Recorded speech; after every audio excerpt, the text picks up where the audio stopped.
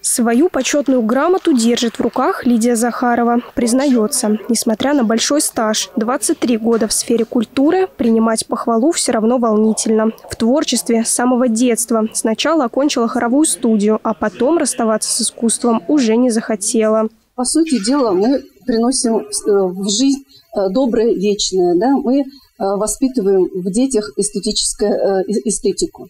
А поэтому мне очень нравится работать в этой сфере. Я люблю свою работу. И особенно люблю людей, которые работают в этой сфере. Елена Артемова только начинает свой профессиональный путь, а если точнее, новый виток карьеры. Глядя на мужа, пожарного спасателя, тоже захотела помогать людям. Кабинет страховой службы сменила на диспетчерскую систему 112, где трудится уже третий год. Приятно.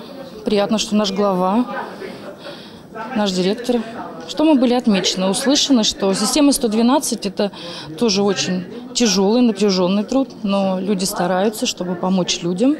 Сильным коллективом, который будет только совершенствоваться и брать новые вершины, назвал глава округа команду местного самоуправления. 21 апреля работники отмечали профессиональный праздник. Отличившиеся получили награды. Я хочу поблагодарить каждого из вас за работу, за этот ежедневный тяжелый э, труд, за чуткость, которую вы проявляете в общении с людьми, и за умение быть командой и нести на своих плечах эту огромную ответственность.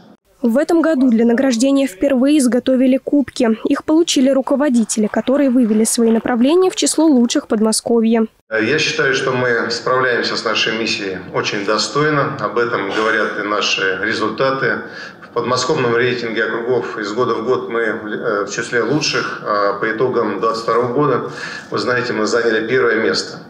Миссия управленцев – оставаться чуткими к запросам жителей, обеспечивать для них комфорт и достойное качество жизни. Олеся Лукина, Артем Ломоносов, телекомпания «Одинцова».